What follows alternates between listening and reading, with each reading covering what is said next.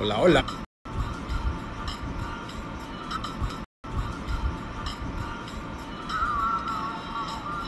Hola, hola. Hola, hola.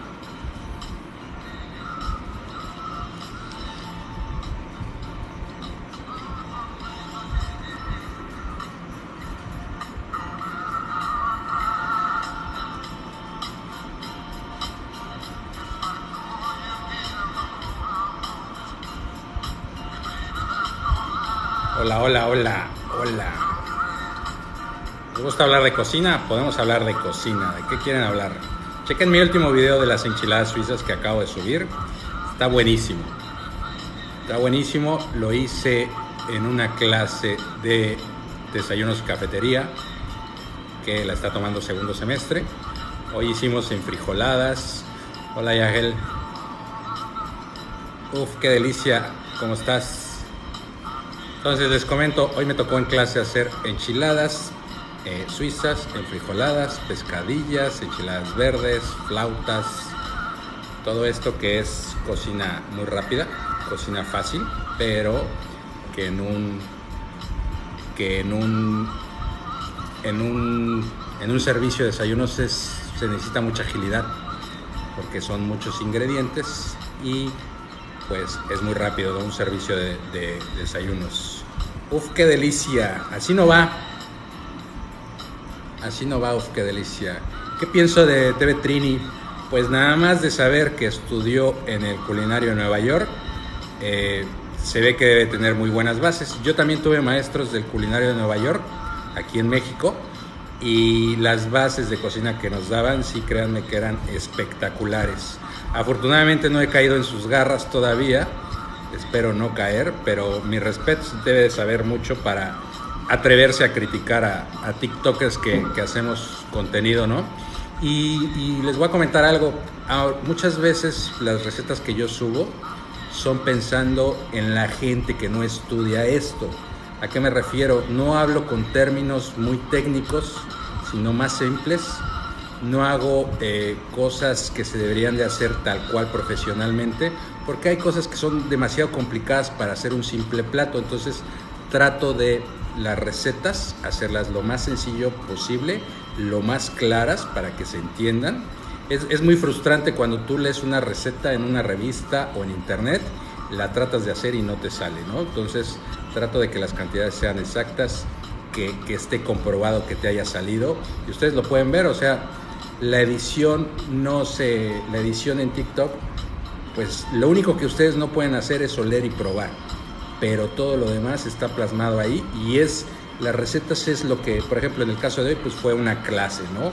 Pero regularmente eso es la, es la comida que yo hago en mi casa. Entonces, pues al final es lo que yo como, ¿no? El día a día. Así es la manera de que subo las cosas a TikTok. Era un desperdicio cocinar diario en mi casa. Yo soy el que cocino para mi esposa y para mis hijos. Y pues no, no se me hacía un desperdicio no, grabarlo, ¿no? Es muy buen material. También la plataforma me está ayudando mucho para hacer videos que sí me sirven para las clases. Incluso pueden checar, eh, ya todos mis videos los, los etiqueto y tengo un hashtag que se llama Bases Culinarias. Si por ahí alguien que está estudiando cocina, busque ese hashtag y ahí va a encontrar verdaderamente ya eh, recetas que se ocupan pues en escuela, ¿no? Que te las dan tal cual en una escuela. Y eso me ha ayudado mucho también para mis alumnos. De repente ya me apoyo mucho con, con el TikTok. Preguntan algo y le digo, ah, chécalo en TikTok, ahí lo tengo, en tal receta, tal hashtag, ahí está. O pasa muy seguido que familiares, amigos te dicen, oye, ¿cómo haces tal cosa? ¿Cómo haces eh, la sopa de tortilla? Pues antes tenía que sentarme y escribirla y decirle y explicarle. Ahora ya es más fácil. Muchas gracias, Alma, desde Los Ángeles. Ahora me es más fácil, ¿no? Alguien me pregunta por una receta y si no la tengo, ya la tengo pensada para planearla, para subirla en, en, TikTok o pues ya nada más le digo, oye, chécate mi video, o yo lo descargo y lo mando por WhatsApp, pues ya es más fácil. La cocina es más sentido común, definitivamente la cocina es pura lógica, es pura lógica y, y es sorprendente cómo a veces no la ocupamos, ¿no? La sopa de tortilla ya está ya está en el canal, ya está ahí, que por cierto fue aclamada y criticada, pero ya está. Prometo hacer otra versión de sopa de tortilla, más a como me criticaron mi sopa, ¿no? Más a todo lo que me dijeron de la sopa de tortilla, pues prometo hacer una versión como todo el mundo la conoce, ¿no? Yo definitivamente la versión que yo subí es la que yo no, no aprendí en mi casa, la aprendí en el ámbito profesional, siempre la vi así, siempre la comí así, entonces pues es la que subí. Sí, la receta de sopa de tortilla ya está en el canal, la puedes buscar. Tiene rato, ha de ser como unos 90 videos para abajo, pero, pero ya está ahí. Y bueno, pues ¿qué más les platico? Bueno, el, esta semana, si quien no sabe de mi vida profesional, soy instructor también en una escuela de cocina. Doy, ahorita estoy dando la clase de desayunos y cafetería, cocina mexicana, bases culinarias 2. Me estoy tomando una Coca-Cola Alma. Y estoy dando una materia que es bellísima, que se llama Dependiente de Comedor. Y es todo lo que hace el mesero frente al cliente y cocinando. Muchas gracias Marisol. Y es cómo cocinar frente al cliente, ¿no? No puedes meter las manos, necesitas un cuchareo, cómo se flamean unas crepas, cosas clásicas, ¿no? Unas crepas set frente al cliente, eh, cómo se hacen cafés. La semana pasada hicimos cafés, hicimos café irlandés, hicimos cappuccino, hicimos desde el express, que de ahí parte todo, y hicimos variedad de cafés. Y bueno, pues eso fue un poquito lo que, lo que hicimos esta semana. También hice, eh, ¿qué, ¿qué, más? Eh, bueno, hicimos una, una degustación ahí de, mariscos, que por cierto guardé un poquito de marisco, lo tengo congelado para ver qué, voy a hacer para, para, TikTok. Tengo planeados, acaban de pedir también unas crepas, unas crepas saladas. Apenas fui al súper y vi huitlacoche y pienso hacer unas crepas de huitlacoche. Ojalá en esta semana las pueda hacer. Para mí es muy complicado muchas veces buscar ingredientes. Yo vivo en una isla y, es complicado. Eh, coméntame cuáles crepas hiciste. Dulces saladas, las crepas, subí unas crepas Suset y subí unas crepas de cajeta. Y ahora espero, ojalá esta semana podré hacer unas crepas de huitlacoche. Entonces, pues por donde vivo, sea, en la, isla es complicado a veces encontrar todos los ingredientes y sobre todo encontrarlos frescos. Es muy, muy difícil. Y a comparación de otras ciudades, aquí el mercado, tal cual, es más caro que el súper. Entonces, y no encuentras todo en el mercado, sí hay muchísima más variedad en el súper. Eh, y pues bueno, trato de trabajar con todo, con todo lo que se puede, con todo lo que encuentre aquí más que nada. Las de cajeta estaban deliciosas también. Bueno, hay al principio de mi canal hay unas crepas de cajeta, pero muy caseras. Son con tortilla de harina, mantequilla y la cajeta nada más. Búscalas, esas a mí me encantan. Cuando tengo antojo de algo dulce, esas son las que me hago. En vez de hacer toda la harina, la mezcla, hacer mi crepa, agarro una tortilla de, de, de, de harina y con eso me hago una crepita. Me gusta mucho la música, Alma. Me gusta. Trato de buscar música. Ya como verán, pues ya estoy un poquito ruco. Y me gusta toda la música ochentera, noventera. Ahorita estoy en un dilema porque toda la música actual, lo que busques de éxitos, pues todo es reggaetón, ¿no? Al principio era bonito, pero llega un momento en que ya es mucho reggaetón. La cochinita pibil, pronto, pronto, prometo hacer cochinita pibil soy muy respetuoso, a pesar de que yo vivo en la península de Yucatán, soy muy respetuoso de las recetas tradicionales. Vivo en Cozumel, Cozumel, Quintana Roo, enfrente del Playa del Carmen, somos una isla. Y soy muy respetuoso de las recetas de aquí tradicionales y la gente es muy celosa de estas recetas, entonces seguramente me va a caer mucho hate el día que yo suba un plato típico de por acá. Por eso subo muchas cosas de donde soy. Yo nací en la Ciudad de México y, me, eh, y después me fui a vivir a la Ciudad de Puebla. Después viví en Vallarta. Entonces lo que conozco realmente de raíz desde niño es lo que, lo que subo. Alguien me comentaba que yo cocinaba muy parecido a su mamá. Le pregunté de dónde era y efectivamente él eh, vivía en la Ciudad de México, pero eh, su mamá era poblana. conmigo pasó al revés. Yo nací en la Ciudad de México y después me fui a Puebla. Entonces, esa, esa riqueza de, de, comida que tiene el centro de México es espectacular y, y, se, y, se, riega por todos los estados aledaños, ¿no? Puedes encontrar muy buena barbacoa, aunque sea de Hidalgo, la puedes encontrar también en Tlaxcala, en Puebla, este, Querétaro, en fin, toda esa zona se, se, se expande toda la gastronomía y deja de ser de un solo estado. Aquí somos más celosos, aquí la, la península de Yucatán tiene su propia eh, eh, gastronomía y sí somos, somos muy celosos ¿no? de la comida yucateca. A pesar de que somos estado de Quintana Roo, eh, pues nuestra cocina es totalmente yucateca. No sé si alguien quiera preguntarme algo específico de cocina, alguna recetilla, eh, algún estudiante que si hay por ahí que me levante la mano y, y me gustaría saber qué tanto le aporto tanto a la gente que no es profesional en cocina como a los que sí, hay muchos estudiantes que me siguen y, les gustan mis videos, les sirven a veces y pues eso me da gusto, ¿no? No sé, están muy callados. Mi primer live, sí, todo el mundo estaba opinando y hola, Ara. Creo que tú ya has comentado algún video mío, Ara, ¿no? Son, son demasiados, demasiados comentarios y créanme, yo decía antes, ay, qué payasos que no contestan. Y se los juro que realmente sí a veces, eh, a veces sí es difícil contestar. Quita mucho tiempo también subir videos. No es lo mismo, si yo me tardo, supongamos, una hora cocinando, me tardo el doble grabando. Es decir, si hago una receta tal cual, si no grabo, no hago nada, en una hora está lista. Pero si la voy a grabar para subirla a a TikTok me tardo dos horas cocinándola. Más aparte, una media hora editando, más aparte subirle la voz, escogerle la música. Entonces, eh, eh, pues es bastante complicado, ¿no? Entonces, eh, aparte, no sé, buscarle más recetas o tratar de editar mejor. El video que hice hoy es la primera vez que uso CapCut, es una, es una app para editar videos y pues ahí le voy aprendiendo, ¿no? Poco a poco. Ara, de nada, qué gusto que les gustan. Ecuador me sigue mucho. Saludos desde Ecuador.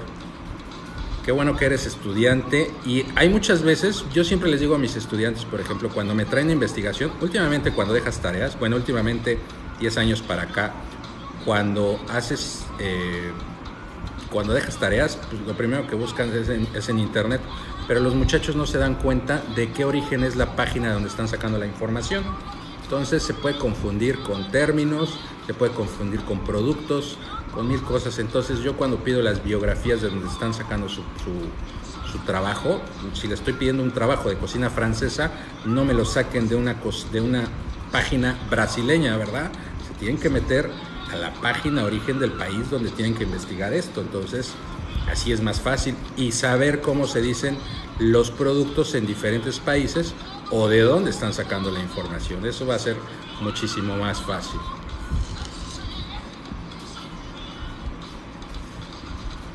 Bueno, alguna receta que quieran hacer. La primera receta que suban, ojo, que no sea dulce, que me mencionen aquí, que no sea dulce, porque dulce, les voy a decir qué pasa con el dulce. A mí no me gusta la repostería ni la pastelería.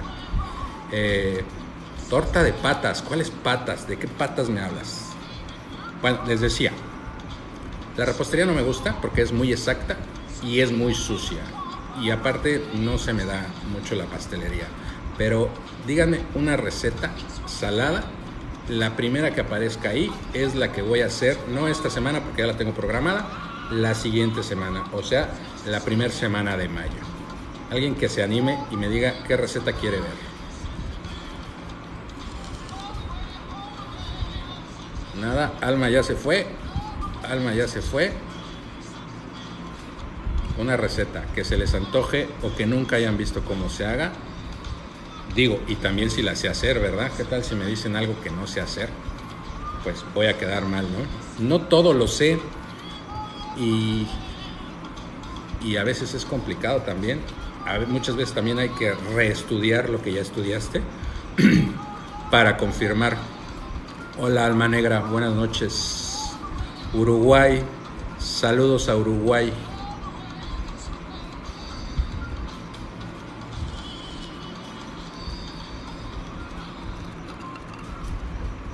Mi sueño es ser chef, vale, pues ¿por qué no lo haces? No está difícil. Lo difícil es después, cuando ya eres chef, pero intentarlo no está difícil. También muchas veces me preguntan si es cara la carrera. Pues actualmente ya hay, ya hay escuelas públicas también que la ofrecen y, muy buenas escuelas con muy buenas instalaciones y entonces pues no hay, no hay motivo para no estudiarla. Saludos Yaritza.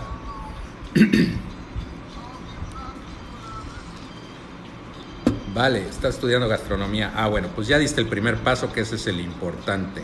Lo demás viene por añadidura. Yo te recomiendo que trabajes. Una ensalada con fettuccini. Mira, para hacer una ensalada con pasta larga no es muy recomendable por la situación de cómo te la comes. Eh, no recomiendo algo, pero te puedo hacer, claro que podemos hacerla. Todo es posible en cocina, ¿eh? hay muchos comentarios que de repente subo alguna receta y me dicen, no, así no se hace, así no se puede. Por eso es mi lema de así no va. Dime que así no va, pues porque cualquier receta puede hacerse de mil formas y se puede hacer, todo se puede hacer en la cocina. Hago un risotto, ya tengo un risotto y ya compré una cajita de risotto que ya tengo guardada por ahí. Yo creo que el, el, el próximo video que haga de risotto va a ser con mariscos Definitivamente, vale, me dijeron que la experiencia es el chef. Ahí te va cómo es esa palabra de chef. Para mí, el que te llamen chef es un título. Es un título así como, como si fueras rey, como si fueras princesa, como si fueras, bueno, como si fueras doctor, ¿no? Tú, este, tú estudiaste gastronomía o estudias gastronomía, pero eso no te convierte en chef. Te conviertes en chef cuando pisas una cocina y tú eres el líder de esa cocina ahí es cuando ya la gente te va a mandar, te va a mencionar o se va a dirigir por, a ti como chef. El, título universitario no te va a dar el título nobiliario de chef.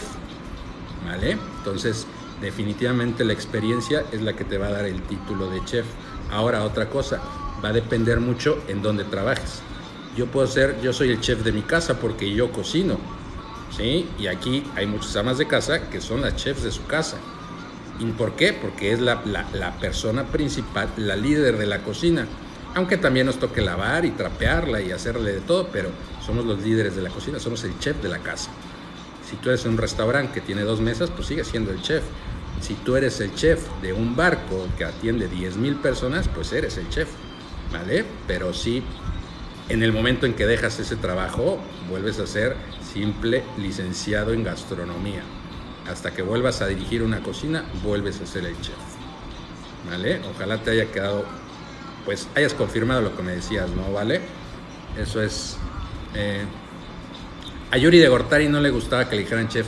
¿Saben qué? Que, que sí llega un momento en la edad que ya, ya, yo ya empecé a dejar de firmar. Antes me encantaba tener mis tarjetas de presentación y que dijeran chef Ahora ya no, ahora ya simplemente los documentos oficiales sí los tengo que firmar como licenciado, algunos documentos los tengo que firmar como chef, pero ya cualquier cosa ya nada más pongo Napoleón Calderón y, ya les digo, vivo en una isla que es muy pequeña, mucha gente me saluda en la calle y me dicen, hola chef, hola chef, adiós chef, buenas tardes chef, pero nadie sabe, muchos de ellos no saben ni cómo me llamo. ¿sí? Y son porque me conocieron, porque fueron proveedores, porque fueron, eh, fueron huéspedes, estuvieron en mi hotel o mil cosas, pero pocos saben cómo me llamo. Pocos, poca gente la que me saluda en la calle sabe que, cómo, me llamo, ¿no? Yo pensé ahorita que con el TikTok iba a crecer un poquito más, iba a salir a la calle y ya me iba a saludar todo el mundo y no ha pasado ni creo que pase, ¿no? Eh, claro que sí, voy a hacer el risotto de, mariscos próximamente, te digo, tengo guardaditos unos mariscos ahí y ya tengo el risotto, entonces seguramente va a ser de mariscos. ¿Cómo se llama el pescado bacalao? Prepare uno para yo hacerlo. Bacalao seco, ya tengo una receta en TikTok. Bacalao fresco, aquí donde vivo, no consigo. Tendría que buscarlo bastante para, para que me lo trajeran. Pero bacalao seco ya hay, ya hay en mi canal. Entonces, hace rato les había preguntado qué receta quieren ver. Ya me dijeron del risotto con mariscos, ya me dijeron de una ensalada de fettuccini. eh, pues la podemos hacer, ¿por qué no? Yo no recomiendo servir una ensalada con pasta larga, pero no es imposible. Es imposible no hacerla. Hola Gabo, ya se unió Gabo. ¿Cómo estás Gabo? Salúdame Gabo, por favor. Gabo es mi hijo que está allá arriba. Debe estar jugando Xbox. Bueno, andan muy calladitos. Algo que quieran saber de cocina, de la carrera, algo que quieran saber de mi vida personal también. No hablo mucho de mi romeritos. Híjole, no es temporada de romeritos, pero me encantan los romeritos. Carne asada tan pequeña, la voy a hacer. La, ensalada César ya está en mi, en mi canal, ya la pueden revisar eh, carne asada tan pequeña también, también me encanta. ¿Dónde vivo? Vivo en Cozumel, Cozumel, Quintana Roo. ¿Qué receta con papas me recomiendas? Compré demasiada y no sé qué hacer. Chécate, tengo varias. Tengo una tortilla de patatas, tengo papas a la francesa, tengo unas papas eh, salteadas con mantequilla y páprica. Tengo varias de papas. Una pasta Alfredo. Puré de papas no he subido, fíjense. Voy a subir un puré de papas. Tengo 30 años que no los como. Pues, ¿dónde vives para no comer romeritos? Por favor. Yo esta Navidad, yo acostumbraba mucho a comer romeritos en Navidad. Esta, esta Navidad sí no, no, no lo hice. ¿Cómo me llamo? Me llamo Napoleón Calderón. De, de chiquito Napo. Ah, pues en Las Vegas no creo que encuentres romeritos. Este, y ahorita no es temporada de romeritos. A lo mejor en la Ciudad de México sí encuentras, pero aquí donde estoy no encuentras. Ah, subí unas papas que estaban al horno. Que no lleven queso. Subí unas papas hace como unos 15 videos. Búscalas. Están marinadas con tomillo, ajo, cebolla, un poquito de aceite. Licué todo eso, las rebané, las metí al horno y este y las horneé. Búscalas, están exquisitas. Y luego hice un pollo donde también puse de cama esas papas y estuvieron eh, deliciosos. Yo no conozco los romeritos y nunca los he comido. Pues, ¿dónde vives? ¿Es de vivir en el norte o en otro país?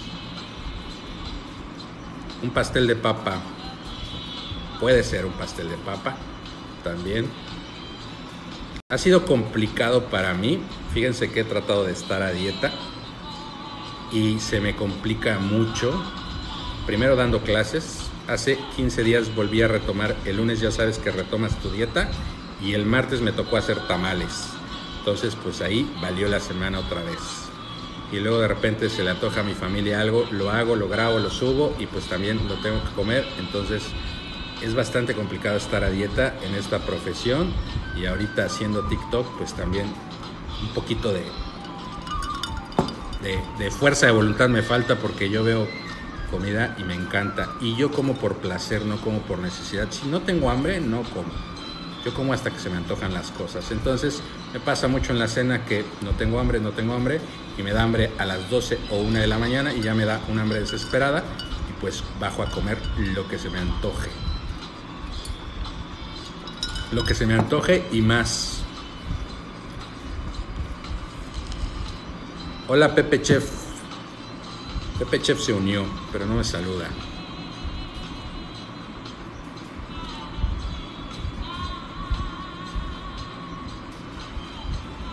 Ah, vaya, Pepe. Te voy a buscar para ver. ¿Subes recetas, Pepe? ¿O no? Afortunadamente, bueno, tengo mucho hate. Bueno, no tanto, pero tengo hate. Pero el gremio, los que, los que en, en su TikTok detecto que son chefs, no, no, de repente opinan, opinan, dan su opinión bien, sabes que no es hate cuando te dan una sugerencia o cuando te dan una recomendación o cuando te dicen que ellos lo hacen de otra forma, pero hate de, cocineros o de chefs, no, no tengo. ¿Qué tomo? Pues tomo coca. En TikTok no se puede tomar otra cosa más que coca, coca con hielitos que ya se va a acabar y entonces me voy a tener que parar a servir otra.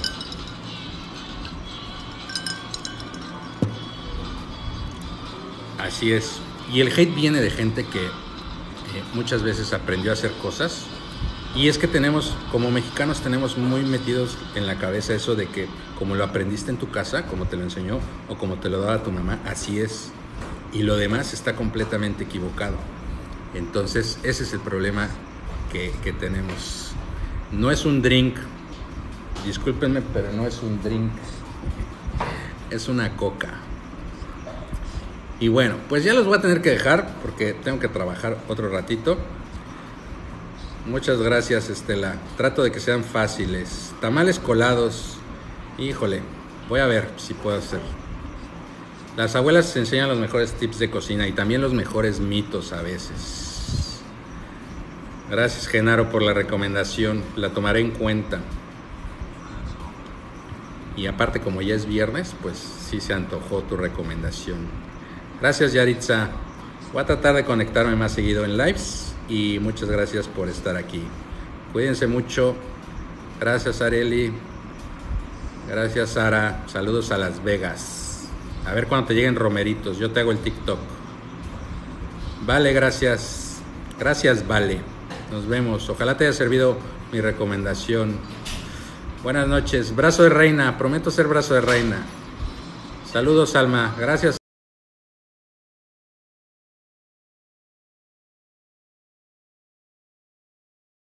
Brazo de reina. Saludos, Alma. Gracias.